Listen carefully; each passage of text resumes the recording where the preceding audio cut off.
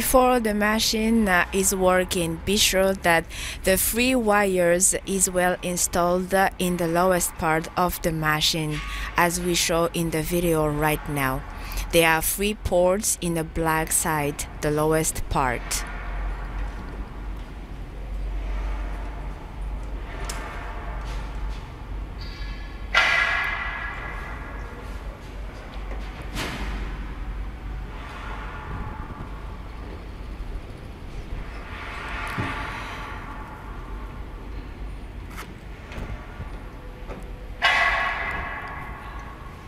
Once the three wires are well installed, you have to turn off, lift up uh, the free, the free uh, circuit breaker up, up the um, up of the, the machine electrical machine. The rest of the the rest of the electric part does not need to, check everything will be okay normally if the machine is correctly uh, uh, well installed so we have to check in the second part with the air compressor there are three parts in, inside the machine that you need to understand. The first one is the first motor for feeding the wire in the machine.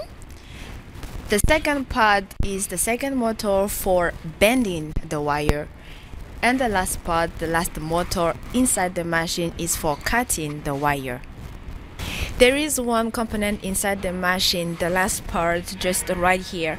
Uh, it is customized and depends on the customer because it does not need to be inside the machine and depends it, it, it depends uh, according to the customer if he wants it or not. It's for hooking the, the wire. You need to pay attention with some part inside the machine. The first is this black screw has to be always uh, tight. And this part you don't have to touch it during the operation. And the last part is this white tube. This is the machine oil from this oil tank. You have to lift down or press down this level so you can put and share all oil within the machine especially from the bending and the cutting side.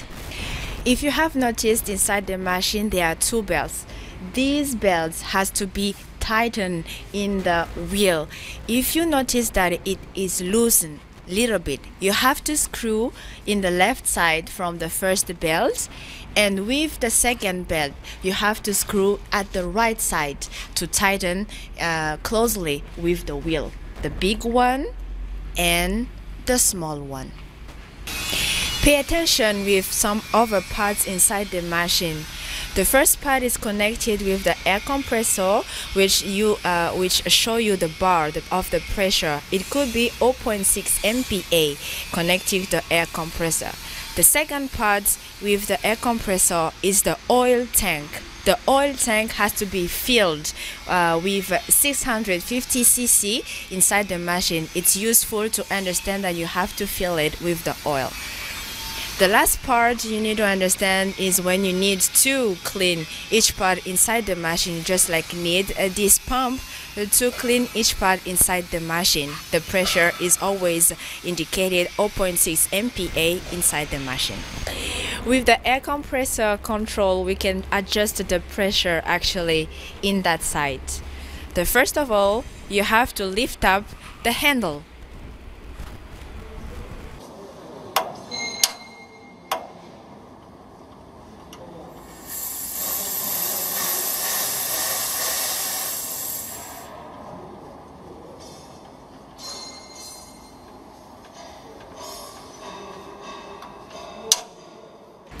With the air compressor, there is a yellow indication just in the lower part of the air compressor pump over here.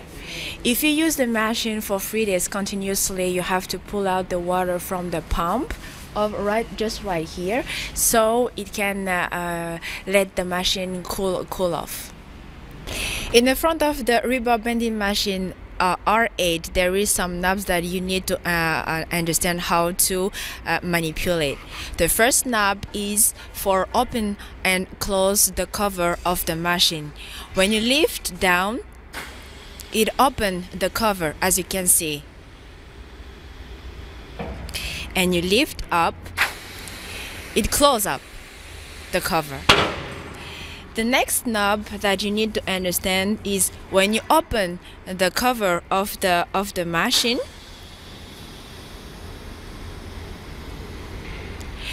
There are four wheels here. The first four wheels here needs to be tightened or loose. So you need to lift up to lose the first wheel lift down to tighten the wheel the pressure indicator here is adjusted by this uh, uh, last knob actually to uh, adjust the the diameter of the the pressure when you use the machine. It depends on the diameter of the wire which that you are using during the operation. When the machine is ready to work on don't forget to turn on the screen. There is a key over here. You just turn to the right to turn on on the screen and then to the left to turn off the screen. Now we are ready to use and operate. First, you have to feed the machine from the feeding pad the wire manually until it reach the first four wheel. Second, press the knob to tighten the wheel close to the wire and then tight the wheel from the feeding part. Now the wire is moving forward and it is controlled by one of the buttons from the screen, the first black at the left side. You have to turn this button to the right side, then the wire move forward between the five pairs of wheel.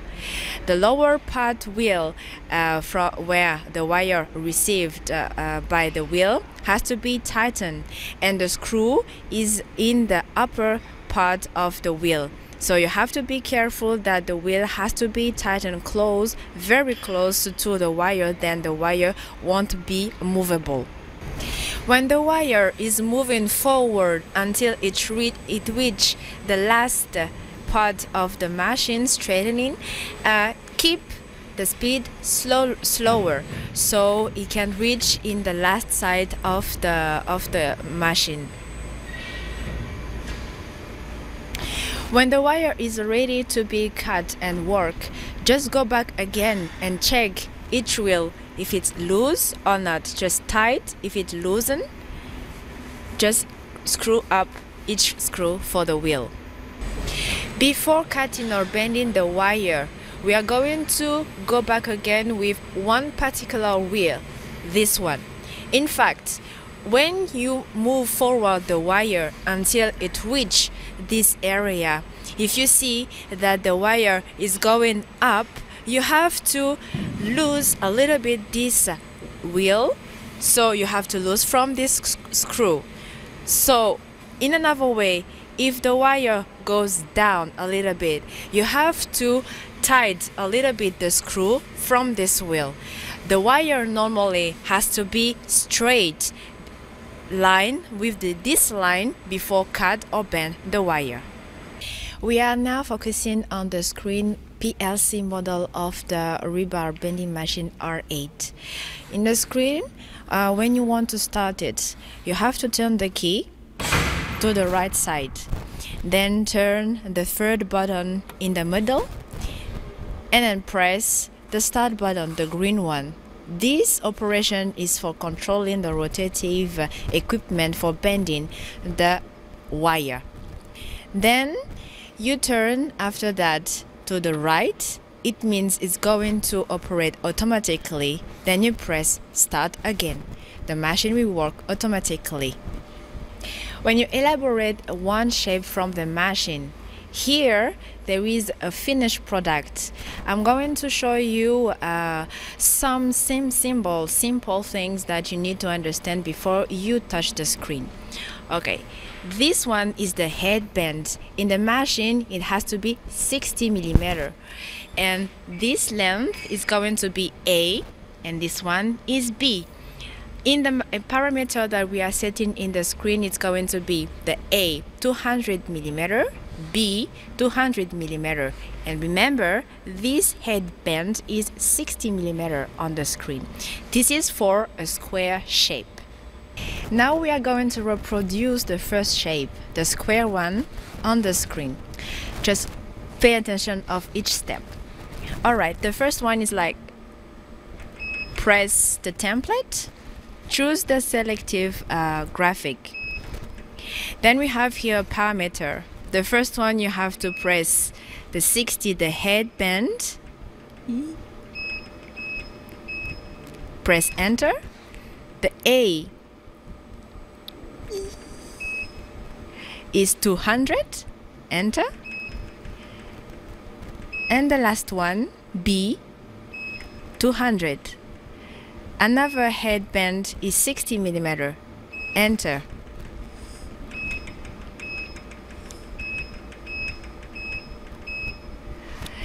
once the parameter has been set up you have just to press the middle um, a middle cell using the graphical set so the programming system will automatically operate it. When everything is set up actually you can press the start and then the machine will reproduce the shape that as you want the next shape that I'm going to show is about the triangle. There is a symbol with me right now and the process is the same. A B and in the machine it's going to be the headband. There is a parameter that you have to set up on the screen. The second shape is a triangle Another figure that we want to reproduce from the screen is the triangle. The process is the same as we uh, select with the square one. Right, the first one is press the template one and choose from here, from the screen, the triangle. As you can see, there are about five parameters that you need to set up.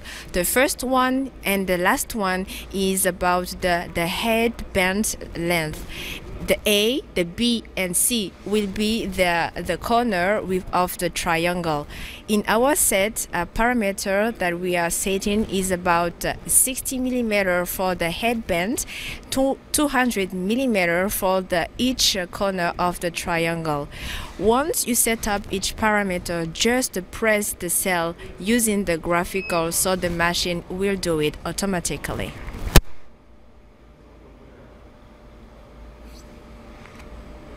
Press when all parameter is uh, setting up just press start and the machine will reproduce the figure as you want